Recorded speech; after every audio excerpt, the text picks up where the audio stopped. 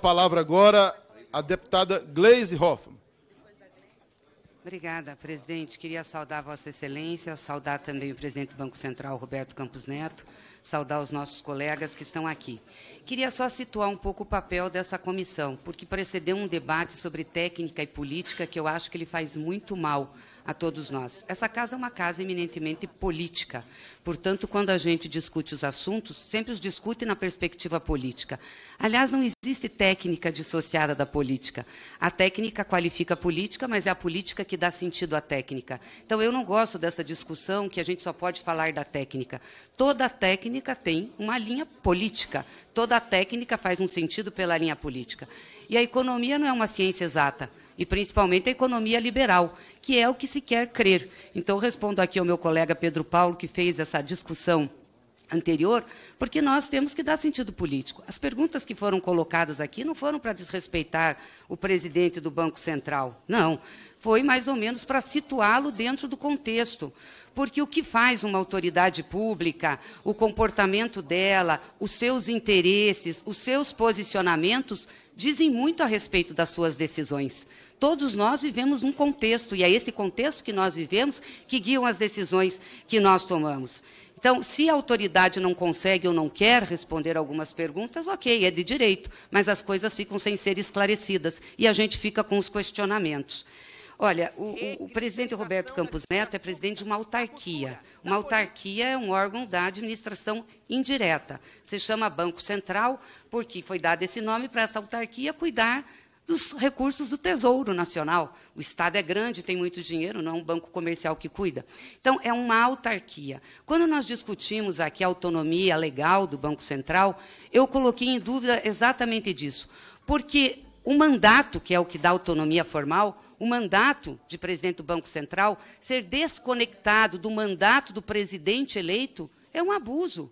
Eu acho que isso fere a autonomia, claro, a autonomia, a soberania popular. Você pode até ter mandato, fica nos quatro anos do presidente eleito, porque a urna elege um projeto, ela elege um modelo de desenvolvimento e uma proposta para o país.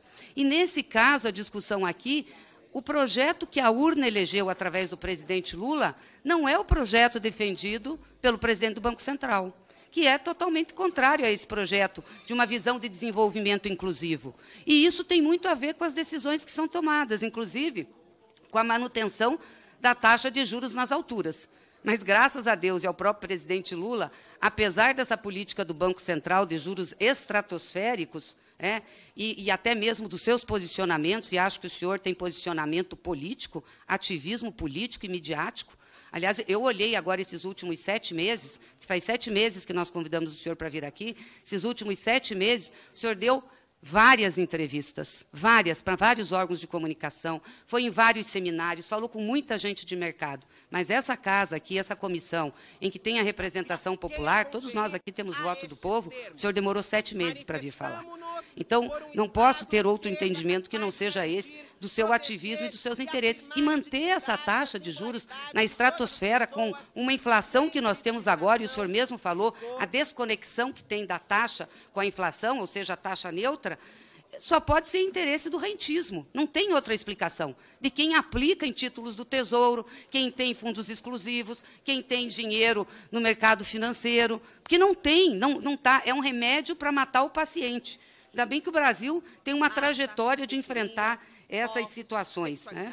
É, e aí as perguntas que o senhor não respondeu nos deixam dúvidas sobre a sua tão autodeclarada autonomia. Porque o senhor devia ser claro aqui. O senhor não respondeu, por exemplo, quem mentiu, se foi o senhor ou se foi o seu André Esteves, do BTG. Tem gravação dele, dizendo que o senhor ligou para ele para perguntar sobre o piso de juros. É muito grave, ele é presidente de um banco. Ele ser consultado sobre isso? Por que, que o Congresso não é consultado? Economistas da sociedade não são consultados? É o presidente do BTG. Então, alguém mentiu, ou o senhor ou ele. O senhor também não assumiu que foi votar de camiseta verde e amarela. E foi, era o símbolo da campanha do Bolsonaro. Por que foi votado de camiseta verde e amarela? Então, onde é que estamos a autonomia? Também não respondeu sobre ter disponibilizado um agregador de pesquisa. Não é pesquisa, não. sei que o senhor não fez pesquisa, nem o banco. Mas o senhor disponibilizou um modelo matemático de agregador de pesquisas, não só para a campanha do Bolsonaro, também para a campanha do Tarcísio. Disponibilizou. Também o senhor não respondeu claramente sobre isso. Também não respondeu se participou até o início desse ano de um grupo de, de WhatsApp chamado Ministros Bolsonaro. Então, o senhor não respondeu se tem investimentos em título do Tesouro Direto, que são remunerados pela Selic que o senhor administra e que a sua família tem, o senhor falou aqui. Perguntas não respondidas, presidente, ou mal respondidas, elas dão ensejo à interpretação. Por isso, se é tão falado que o Banco Central é eminentemente técnico e autônomo, essas questões têm que ser esclarecidas. Porque é no contexto onde a gente vive, o comportamento que a gente faz, as coisas que a gente diz, o lado que a gente toma, dizem muito sobre as decisões que a gente tem. O senhor tem lado na economia. O senhor é um liberal na economia, como foi seu avô. Aliás, muito respeitado seu avô. Mas o senhor é um liberal. A posição do senhor é extremamente diferente daquilo, é, do, do governo eleito. E o senhor está fazendo tudo nessa disputa desta autarquia que se chama Banco Central para tentar impor a sua linha, que é deixar esses juros estratosféricos e ter um discurso sobre o impacto de dívida pública. O Brasil tem reservas internacionais. O Brasil pode e deve contemplar os interesses e as necessidades do seu povo. Não é possível tirar dinheiro do povo, deixar o povo sem dinheiro, por exemplo, não dar aumento de salário mínimo real, porque isso tem impacto no fiscal e não pode, vai ter impacto nos juros. Isso não é uma história mal contada. A gente precisa ter clareza do que e para que foi eleito um governo.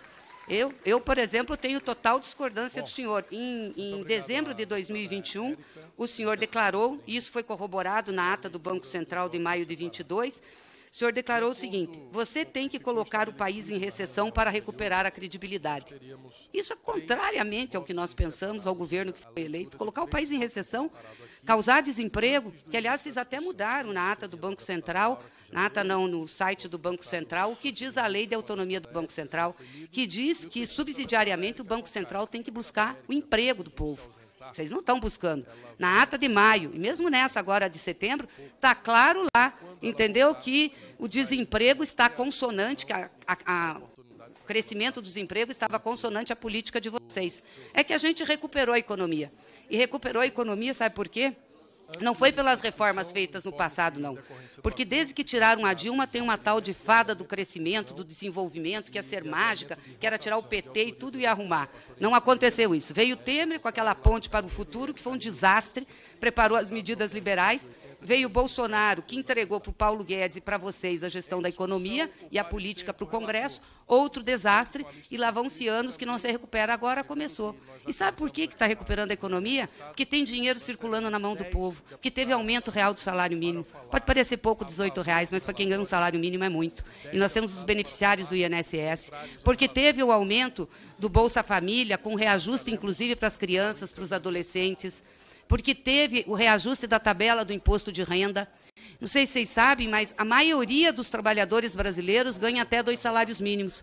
E aqueles que são registrados pagavam imposto de renda acima de um salário. Agora não pagam. Isso tem muito efeito na vida das pessoas, na renda.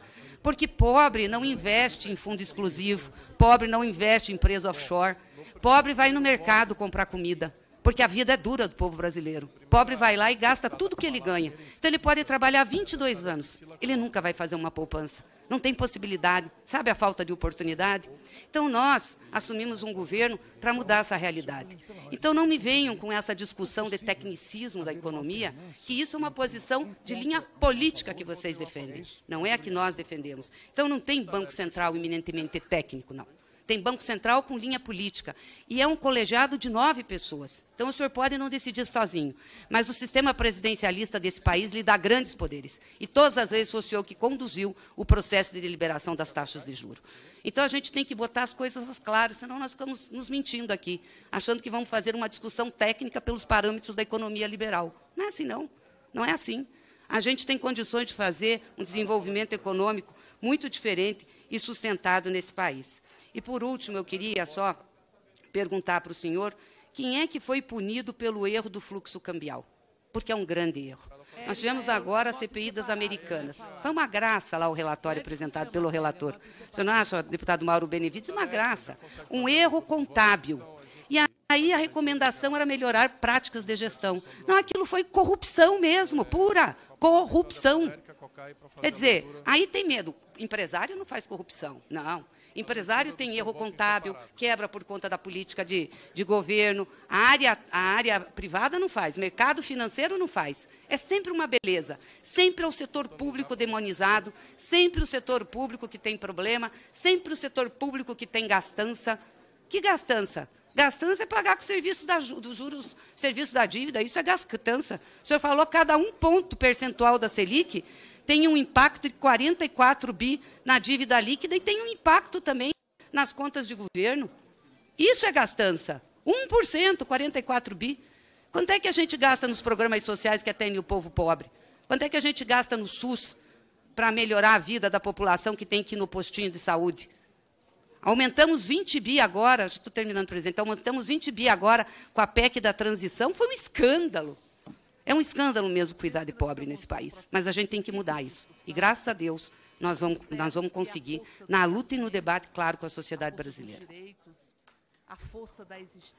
Obrigado, deputada.